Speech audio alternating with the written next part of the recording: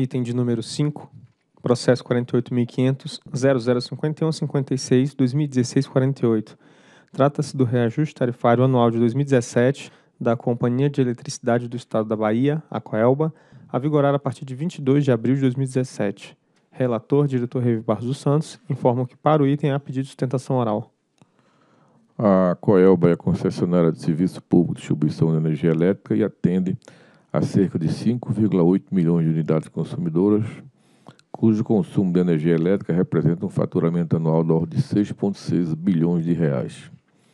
No processo tarifário de 2016, as tarifas da Coelba foram ajustadas em média em 10,73%, sendo 10,64% para os consumidores em alta tensão e 10,76% para os consumidores em baixa tensão.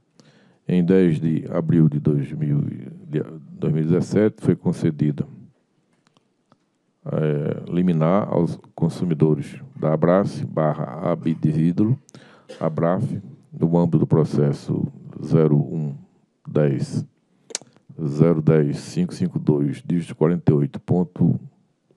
2017.401 3400 na quinta vara federal, determinando a suspensão do pagamento da parcela de remuneração da tarifa de uso do sistema de distribuição, a TUST, calculada sobre os bens reversíveis ainda não amortizados e nem depreciados ativos de transmissão nos termos da portaria MMS 120. A Superintendência de Gestão Tarifária SGT, através da nota técnica 90, em 11 de abril de 2017, consolidou o cálculo do reajuste da Coelba. Em, 10, em 12 de abril de 2017, a SGT encaminhou via correspondência eletrônica ao Conselho de Consumidores da Coelba as planilhas finais do cálculo da RTA 2017, conforme dispõe a resolução normativa 652 da ANEL, de, que aprovou a revisão do submódulo 3.1, 8.2 e 10.2 do PRORET. É o relatório. A sustentação oral será feita pelo senhor Fabiano Carvalho, a quem convido à tribuna.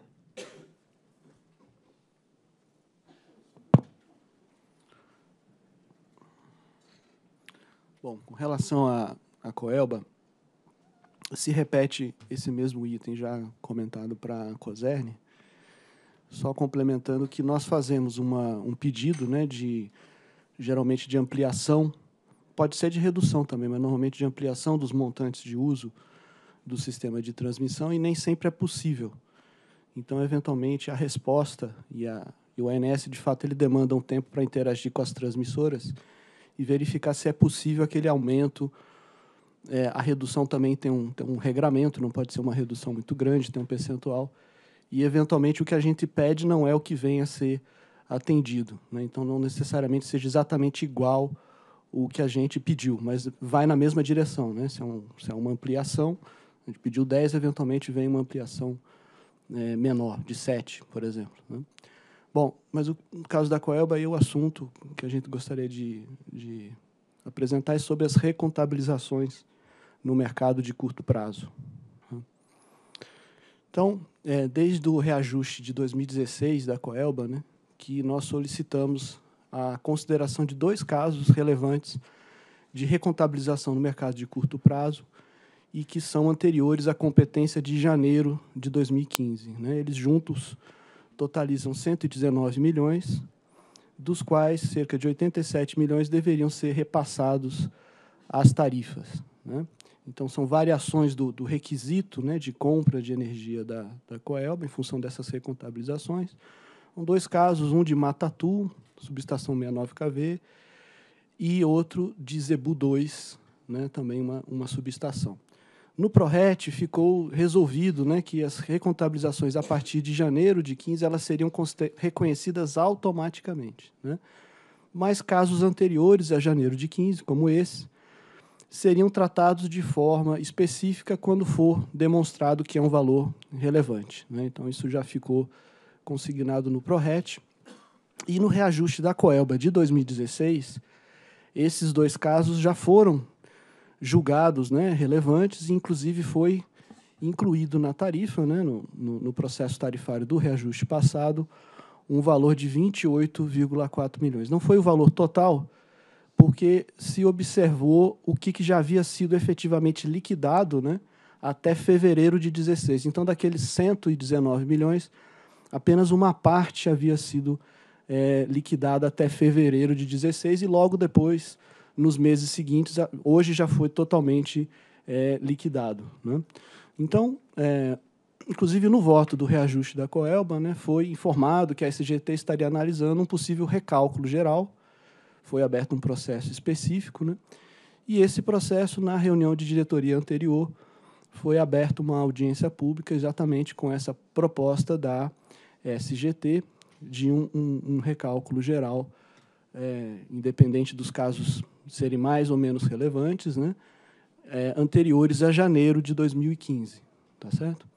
Então, é, o que a gente pleiteia, que a exemplo do reajuste passado e até reforçado por essa audiência pública, ainda que não finalizada, mas o PRORET já prevê que casos relevantes, e o caso da Coelba já foi julgado relevante, então seja feito o complemento dos valores que foram pagos, né, liquidados pela Coelba logo, logo após fevereiro. Né? Então, seria um complemento ao que já foi reconhecido no reajuste é, anterior. Tá certo?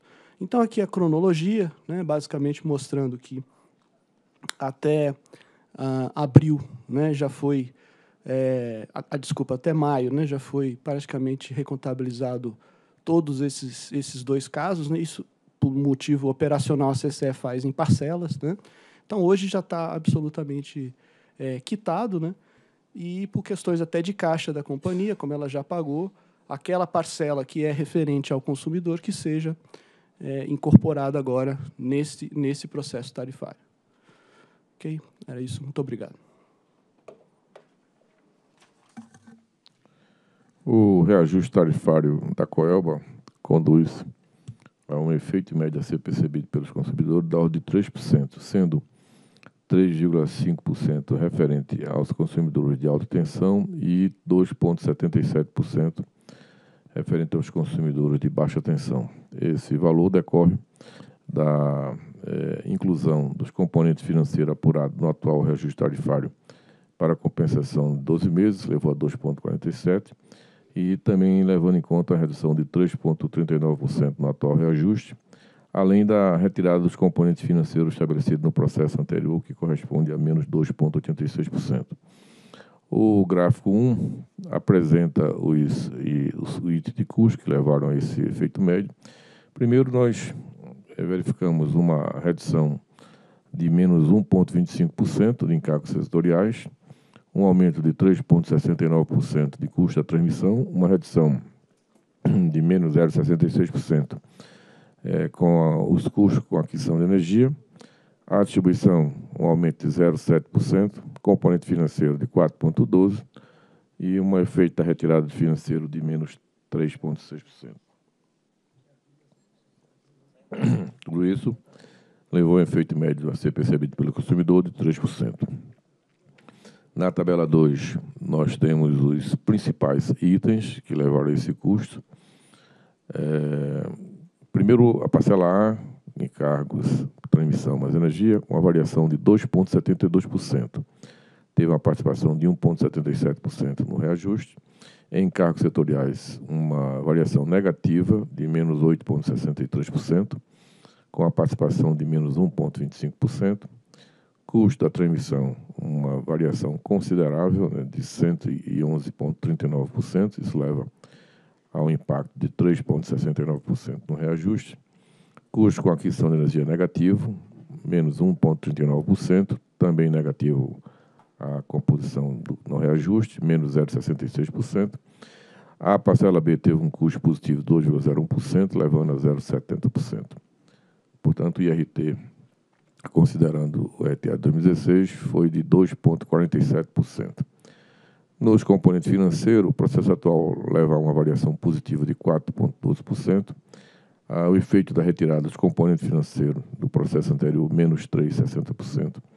Isso dá aquele efeito médio já citado de 3,13%, o efeito percebido pelo consumidor. A parcela A representa 65,36% do custo da concessionária, com o seu incremento representou 1,77% do reajuste. O encargos setoriais foi reduzido em menos 8,63%. É, isso tem um efeito médio tarifário de menos 1,25%.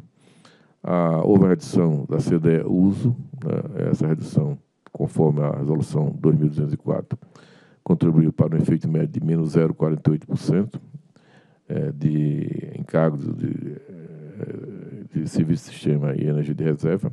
Isso correspondeu a uma variação de menos 0,81%.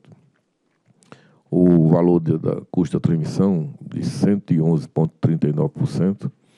Isso é, corresponde a um efeito médio de 3,69%. Essa, esse valor é uma estimativa é, de encargo do uso da rede básica de fronteira, proporcional aos encargos calculados para aplicação das tarifas vigentes e uma previsão de encargo a partir de julho de 2017, até a data do próximo processo tarifário, contemplando o efeito da TUS de rede básica, TUS Fronteira, que ocorrerá em julho de 2017. Desculpa.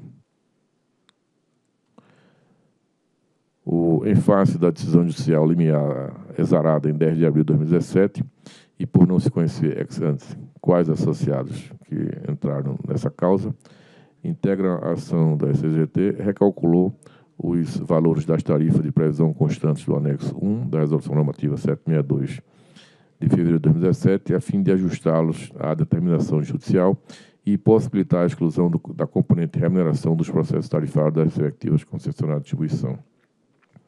O custo da compra de energia teve uma variação negativa de 1,39%, e no gráfico 2 nós temos uma apresentação é, da, dos custos de aquisição de energia do mix da, da concessionária.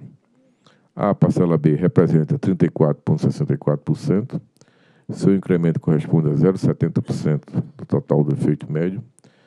Para a atualização da parcela B, considerou-se a variação acumulada de abril de 2016 a março de 2017, considerando essa variação pelo IGPM de 4,86%, quando subtraída do fator X de 2,84%. Para o cálculo dos componentes P, D e T, é, corresponde a 0,84% e 2%, respectivamente. Já o componente Q do fator X, quando aplicada a atualização da parcela B, é, chegou-se a um valor de 0%. Os gráficos 3 e 4 apresentam a participação de cada segmento no custo da composição, o 3 sem tributo, o 4 com tributo. Quando consideramos o gráfico 4, percebemos que o custo da distribuição representa 25,7%, o custo de energia 32,4%, o custo da transmissão 5,1%, encargos setoriais 11,1% e tributos 25,7%. Portanto, encargos setoriais mais tributo tem uma variação de 36,8%. É o maior custo quando comparado com os demais custos a receita proveniente da aplicação dos adicionais de bandeira amarela e vermelha e do repasse das contas bandeiras no período contribuiu para que a tarifa da Coelba não sofresse um aumento adicional médio de menos 2,61%. E a tabela 4 apresenta os componentes financeiros, então a variação de 4,12%. A Coelba pleiteou componente financeiro no valor de R$ 231.730,27 a título de recomposição da receita de TUST, que a concessionária deixou de faturar devido ao sistema de compensação de energia elétrica de micro e mini geração distribuída, do que trata a resolução 482. Cabe esclarecer que não há previsão regulamentar para a consideração desse tipo de repasse às tarifas por meio de componente financeiro, seja na resolução 482, que disciplina a matéria, seja no submódulo 4.4 do PRORET, que define de forma exaustiva os demais componentes financeiros, passíveis de inclusão nos processos tarifários. Sobre essa questão, é importante destacar que, no voto que motivou a resolução normativa 687 de 2015, a qual introduziu alterações na 482, foi expresso o entendimento de que, devido ao reduzido número de conexões estimado até 2019, o impacto econômico relativo à participação de micro e mini geração ainda não é relevante não obstante, será dado foco nesse aspecto em uma nova revisão da norma a ser realizada em 31 de dezembro de 2019. Assim, Diante da ausência de amparo regulamentar, entende-se que deva ser negado o pleito apresentado pela Coelba de recomposição de suposta perda da receita de TURG decorrente do sistema de compensação de energia elétrica de micro e mini geração distribuída. A Coelba também solicitou reconhecimento de efeitos financeiros das recontabilizações das recontabilizações é, de requisitos de energia, carga, que foram cobradas, decididas ou processadas pela CCE, referentes a períodos anteriores a janeiro de 2015, cujos impactos recaíram sobre os saldos da CVA e de energia e de sobrecontratação barra exposição aprovados nos processos tarifários 2013, 2014 e 2015. Em relação ao tema, em 11 de julho de 2017, foi aberta a audiência pública 014, com vistas a colher subsídios e informações adicionais para o aprimoramento da análise dos efeitos financeiros decorrentes de recontabilizações na CCE anteriores ao janeiro de 2015. Entretanto, a exemplo do que foi feito no reajuste da Coelba do ano anterior, solicitei a SGT que simulasse a situação da distribuidora, considerando os efeitos da recontabilização da carga realizada pelo CCE, que afetaram competências compreendidas entre janeiro de 2012 e dezembro de 2014. O valor resultante está sendo considerado de forma provisória como componente financeiro do atual reajuste tarifário e estará sujeito a ajustes no próximo processo tarifário da concessionária, conforme critérios a serem definidos na referida audiência pública. Ademais, destaca-se que está sendo revertido o valor considerado a título de previsão de reajuste tarifário 2016 esses dois componentes financeiros combinados, no valor de R$ 50.037.617,83, contribuíram com o efeito médio tarifário médio de 0,73%. Destaca-se que é abaixo que as variações da tarefa B1, é, da mesma forma, é um gráfico semelhante ao que nós apresentamos anteriormente referente à COSERN. É, o comportamento da tarifa se mantém é, basicamente equivalente, com valores abaixo da GPM, da curva de GPM e PCA, e o valor absoluto da tarifa da Coelba corresponde a R$ 442,51 por megawatt-hora. Com relação à CDE, é, o valor a ser repassado pela Eletrobras, a Coelba será de R$ 38.958.816,26 isso compreendendo uh, valores previstos para de abril de 2016 a março de 2017. Diante do exposto que consta no processo 48.500.005156, barra 2016, dia 48, voto pela emissão de resolução homologatória, conforme a minuta anexa, a fim de homologar o índice de reajuste tarifário das tarifas da Coelba, a vigorar a partir de 22 de abril de 2017, que conduz ao efeito médio a ser percebido pelos consumidores de 3%, sendo 3,5% para os consumidores em alta tensão e 2,77% para os consumidores em baixa tensão. Fixar as tarifas de uso do sistema de distribuição TUSD e as tarifas de energia elétrica TE aplicáveis aos consumidores e usuários da Coelba, e estabelecer o valor da receita anual referente às instalações é, classificadas como DIT e de uso exclusivo, aprovar os valores da previsão anual do ESS e ER e homologar em valor mensal do recurso da CDE a ser repassado pela Eletrobras, a Coelba, de modo a custear os descontos retirados da estrutura tarifária. É o voto. Em discussão. Em votação. Eu voto com o relator. Também voto com o relator. Também voto com o relator. Proclamo que a diretoria decidiu por homologar o índice de reajuste tarifário anual das tarifas da COELBA, Companhia de Eletricidade do Estado da Bahia, a vigorar a partir de 22 de abril de 2017, que conduz ao efeito médio a ser percebido pelos consumidores de 3%, sendo de 3,5% para os consumidores em alta tensão e 2,77% para os conectados em baixa tensão fixar as tarifas de uso do sistema de distribuição e a tarifa de energia aplicáveis aos consumidores usuários da Coelba, estabelecer o valor da receita anual referente às instalações de transmissão, classificado como DITs, de uso exclusivo, aprovar o valor da previsão anual dos encargos de serviço sistema e energia de reserva e homologar o valor mensal de recurso da CDE a ser repassado pela Eletrobras à Coelba, de modo a custear a descontos retirados da estrutura tarifária. Próximo item.